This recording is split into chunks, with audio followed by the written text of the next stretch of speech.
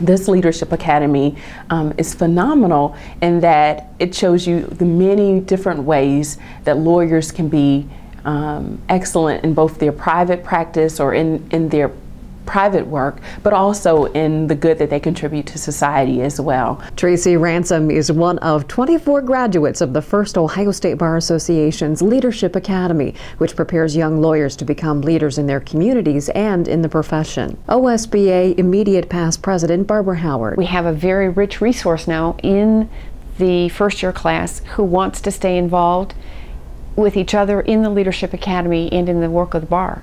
So yeah, I think we really hit a winner been very blessed to be a part of a class with so many awesome classmates. Reese Richards says the academy experience is great for young lawyers like him. I think too often uh, young attorneys or even you know law students sign up to be a member and they, they pay their dues but they don't ever explore what they could get out of, of the State Bar Association or how they could better the, their professional community. Leadership Academy Steering Committee member Dolores Learmonth. There was a good deal of careful thought and planning and discussion uh, among the members of the steering committee to make sure that we covered um, all of those topics from professionalism and civility to leadership skills, uh, that we thought would serve these folks well. Nominations and applications are now being accepted for the next class that will begin in January and continue through July. We're looking at a, a group of lawyers who are between three and ten years out of law school, three and ten years in practice, although certainly we can make exceptions for that.